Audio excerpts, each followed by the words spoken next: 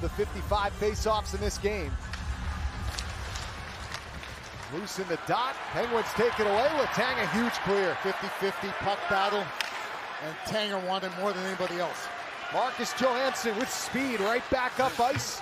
To Nedeljkovic. He's going to go for it. It's knocked down in midair. oh my gosh. The entire building rose up. And I don't know who that was. If it was Boldy or Kaprizov, one of the Wild got their stick way up. I don't know if he jumped up in the air as Nedeljkovic went for it. He feels like, yeah, I had that baby. And what's this conversation for?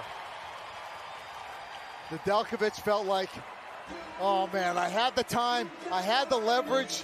You know, Nedeljkovic uses a real short stick and allows him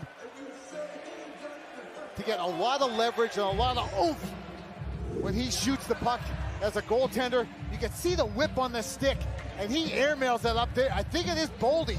I think Boldy jumped up in the air, and the very tip of his stick flagged that thing down.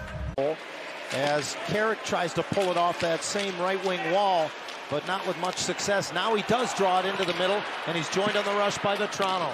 Fires it in purposely wide and pursues it himself. Game clock down to 90 seconds. Mo Seider protects the puck. And now there goes Reimer to the bench as soon as Walman nudges it ahead to Larkin. Flips it in. It's gloved down by Dostal. He's going to shoot at the empty net. Oh, just wide. Hit the side of the net, and he's called for icing. Remember, Lukas Dostal scored a goal in the American League last year in a game against Colorado playing for the San Diego Gulls, and boy, has he got chutzpah to try that in a oh, one-goal game. Oh, my goodness. He got a lot on it, too. I mean, he elevates it over everyone and was through the blue paint, but outside of